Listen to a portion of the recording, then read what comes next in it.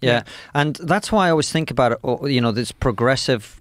I, I think of it as a as a cult or as a religion, right? Yeah. And that's what my heroes were. They were pushing back against the religion of their day. The, Yep. the, the right wing conservatives who were saying you can't say this, can't do this, you can't say Jesus, you can't talk, you can't.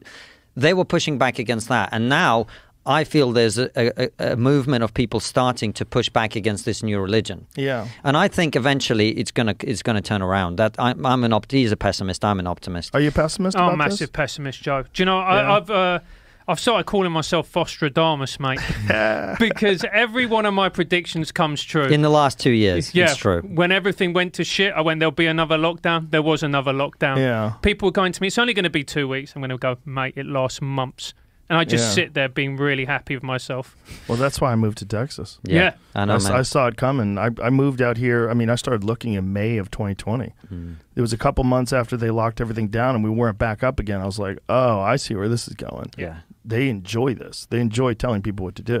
You know, whether or not they honestly, earnestly think that they're protecting people, they are enjoying this power and control. Absolutely. And I don't like it. And the thing is, man, as I talk about in, in there, I've seen this before. Francis has seen this before, right? We come from countries.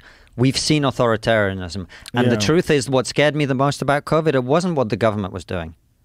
It wasn't what the government was doing. It was how much people loved it. Yeah, they were embracing it. They fucking loved it. People were embracing the pharmaceutical companies, Yeah. which was bizarre to me. The people that have the, been the most deceptive, that have caused irreparable damage to people and families because of lies, because of faking mm-hmm. studies, because of withholding data and information, mm-hmm. and they've been fined to the tune of billions and billions of dollars. And all of a sudden, people were putting all their eggs in that basket. And I was like, you guys are out of your fucking minds. Yeah. Like, you don't remember the past. You don't remember the, remember the history of what these people have done, and you don't clearly don't understand how these studies work and how they get funded and how politicians get funded and how special interest groups are working behind the scenes to make sure that these things get mandated. Like this is fucking spooky.